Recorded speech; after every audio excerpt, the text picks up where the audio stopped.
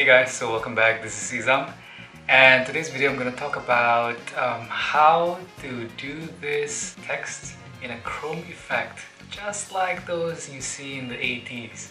Transformers!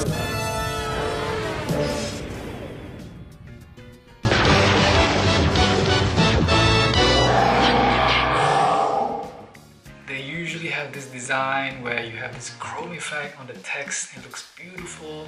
That is why I, I try to relive that, that era. So uh, here's my tribute to that.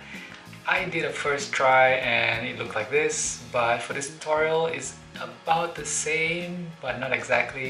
You can follow through the exact colors if you like. You can play around with um, the design. The main idea is there, just follow that and you will not go wrong.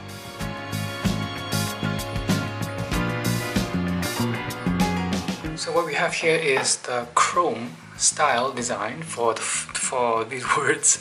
So what I'm going to show you right now is how to do this, how to achieve this in Affinity Designer. So let's get to it. So let's start off with a blank canvas. And then what I'm going to do is I'm going to make a rectangle and cover it. Now I'm going to lock this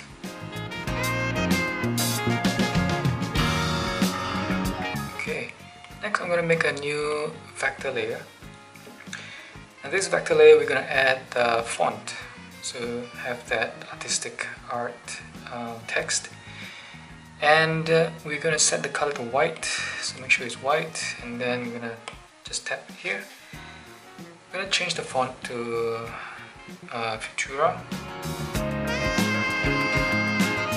And then we're going to type in the word retro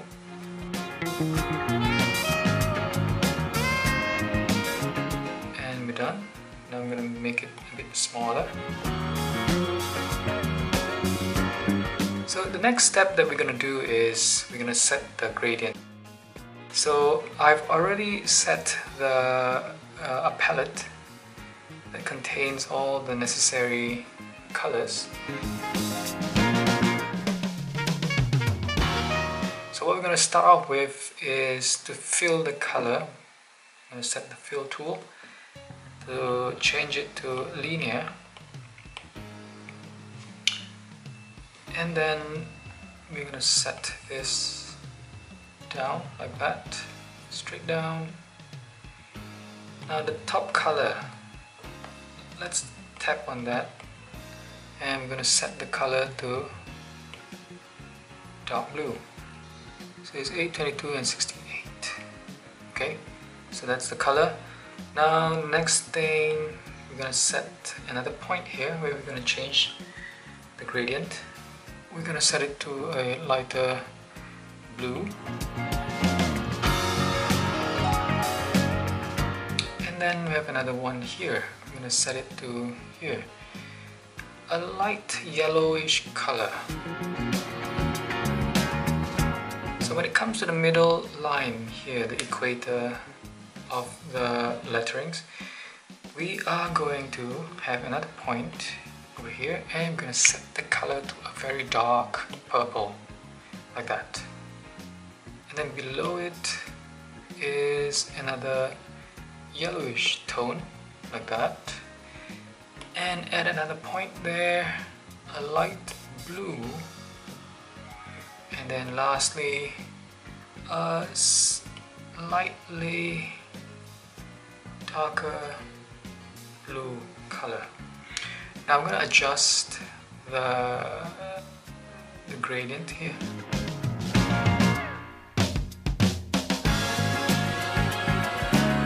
So I'm just going to pull and drag this down a little bit like that so that the dark colors just touches the end.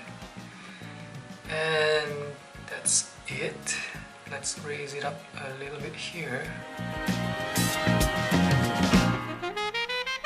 Next, what we're going to do is we are going to duplicate this. Tap on this and click on duplicate. Now for this layer here, we're not going to add the fill, we're just going to add the outline. So let's blank this out and this is the active layer. We are going to set the outline to about 4 and hit OK. Now the outline we are also going to have it as a gradient. So let's click on here and click on this button here. Currently it is solid, let's make it linear. Now let's move this around, constrain it to a straight line, drag it up. Now take note, we still have the fill, we don't want the fill. Here, click here, and then nothing. Okay, so you notice now we only have this. This is the outline. So with that selected, set here. And now we can begin to color the outline.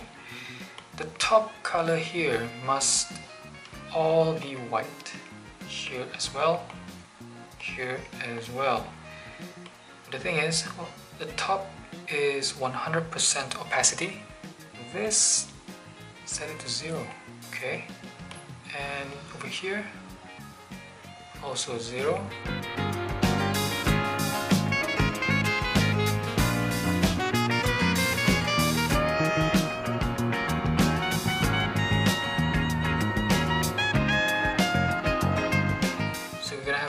kind of a chrome metallic shininess let's see whether it works let's turn on the bottom layer now we're not done yet, we're almost there.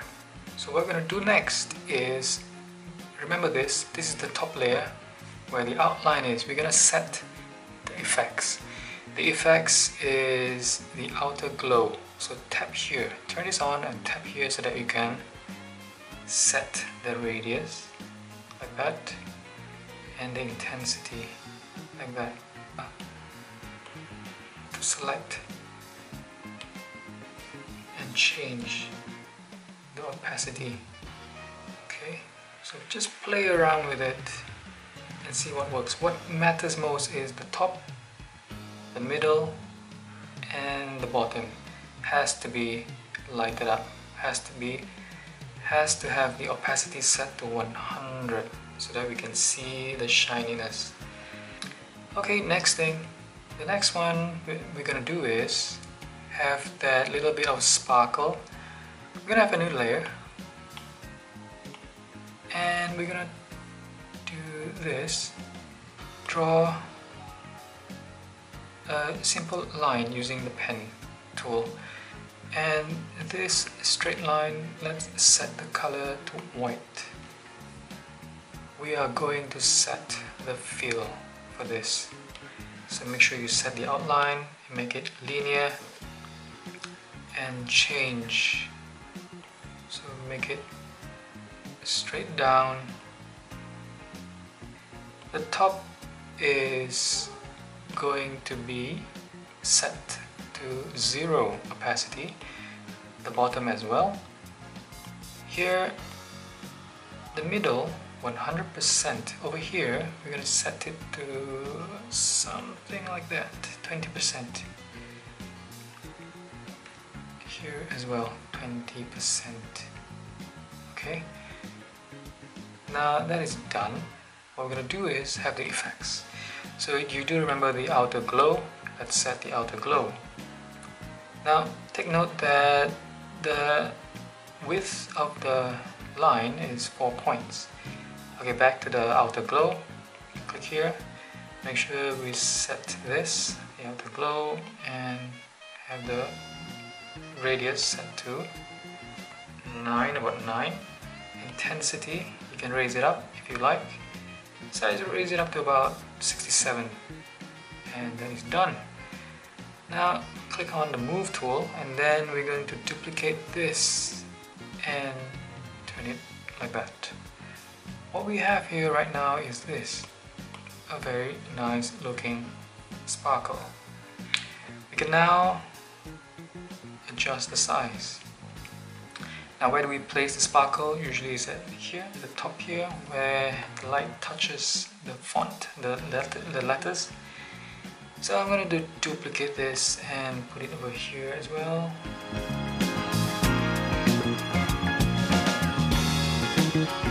Let's have another layer. Now let's just group all this into its own layer. Now have another layer. We're gonna have another font. I mean have another text.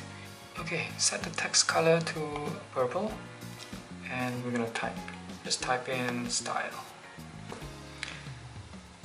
Okay, select it all. Change the font name to you know a script kind of style. Maybe 100 okay that is done. And then I'm gonna set the color.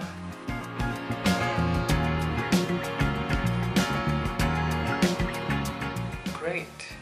I'm gonna move it here. Now notice that again we have the outline. We don't want that, but we do want it to be on a different layer. So what I'm going to do is the same thing. I'm going to duplicate this. So click and duplicate. So we have two styles here. Now the bottom one, I do not wish to have the outline, so I'm just going to click here. Now the top one, I am going to clear the fill and just click on the fill where make sure you click on here. I do not wish to have the fill and I just delete that. Okay so what we have right now is this. The outline is at the top. Let's put it at the bottom so that we do not see the crisscross going on of the outline crossing over one another. Can you see this? I do not wish to have that so I'm just putting it below so that you know the fill of the top layer is covering the outline so what I'm going to do now is I'm going to set the outline color to linear. So let's see what we have. So if you notice, we have the same similar style that has been used um, on the retro. We can reuse that and uh, or you can make it your own. Alright. So let's see, the width here is a bit small, so I think about 1.3 is fine. I'm gonna set the effects. So click there, outer glow. It is done.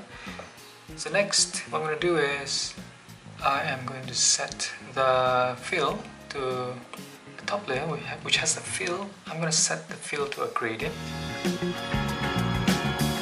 So here, let it be a lighter color and then slowly, gradually going down to a darker color. So this is fine. What I'm going to do now is I am going to have another sparkle. Just click on this sparkle and duplicate. This sparkle is a little bit too big for this kind of um, outline? So I'm gonna change this. It's four points right now. I'm gonna set it to two points. Okay that means it is much smaller.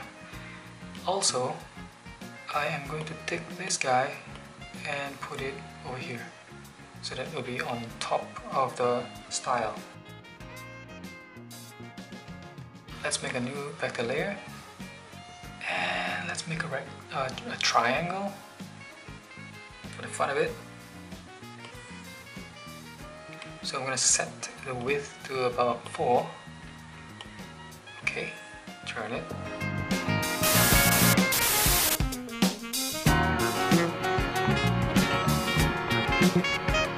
Okay so that's done. I hope you liked the tutorial so I'll see you in the next video. Goodbye.